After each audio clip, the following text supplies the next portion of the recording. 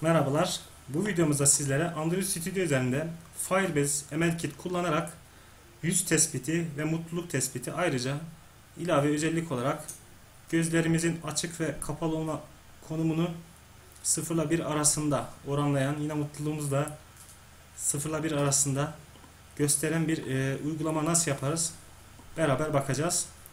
E, uygulama çalıştığında birden fazla kişi de olabilir. Şu an benim yanımda staj yapan Batan Tutkun'la beraber bu uygulamayı deniyoruz. Yine aynen e, yüzdeki mutluluk oranı gözlerin konumunu tespit eden bir uygulamayı birden fazla kişi olacak şekilde çalıştırabiliyoruz. Şimdi uygulama nasıl çalışıyor, ne yapıyor isterseniz beraber bakalım. Şimdi ilk önce bu projeyi size çalıştı, e, paylaştığımda bu projeyi GitHub'da ben paylaşıyordum. Bunu paylaştığımda siz şu e, Google Services JSON App kısmında projemizin app kısmının altında bunu e, göremeyeceksiniz. E, çünkü bunu siz Gmail hesabınızla etkin etmeniz gerekecek. Nasıl yapacaksınız onu size söyleyeyim.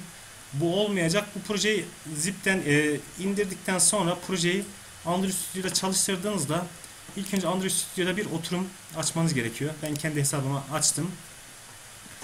Daha sonra Tools'u şöyle göstereyim. Tools'u tıklayarak Firebase'i tıklamanız gerekiyor. Tıklayalım. Firebase'i açtığımız zaman bakın Firebase'in birçok desteklediği işlem var.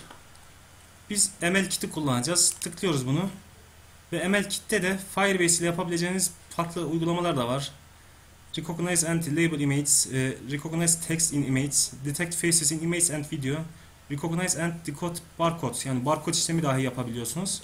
Fakat biz bu projemizde yüz tespit ederek biraz önce bahsettiğim gözlerin tespiti, açıklık ve kapalılık durumu ile mutluluk tespitini kullanacağız. Ne yapıyoruz biz burada? Detect faces in image and video tıklıyoruz. Şurasında connect butonu aktif olacağız. Tıkladığınızda connected'in demesini bekleyeceksiniz ve daha sonra şunu tıkladığınızda otomatik olarak bu Google Services buraya gelecek. Ve artık sizin projeniz Firebase ile karşılıklı konuşuyor olacak.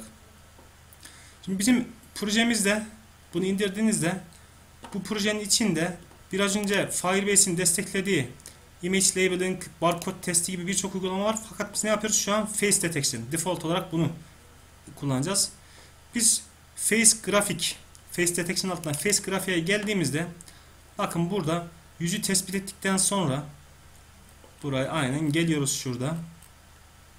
Bakın mutluluk bilgisini face nokta get smiling probability sadece şu kısmı değiştirerek ne yap bak mesela get right eye open probability get left eye open probability ki bu, bu üçünü kullandık. Başka neler var mesela? İsterseniz şurada face yazalım. Mesela bakın e, yüzün yine e, diklik açısı, açı, yüzün konumunu alabileceğimiz gibi farklı bilgiler de var. Burada e, yine dudak bilgisi, ağız bilgisi gibi birçok bilgiler de alabiliyorsunuz. Bunu da inceleyebiliyorsunuz. E, inceleyebilirsiniz. Şu kısımda biz işlemi yaparak şuraya kadar yüzümüzde tespiti yaptık. E, dediğim gibi projeyi sizinle paylaşıyor olacağım. E, inceleme incelemenizi tavsiye ediyorum. Burada şunlara da barkod ve image labeling konularına da bakmanızı tavsiye ederim. Umarım faydalı olmuştur. Bir başka videoda görüşmek üzere.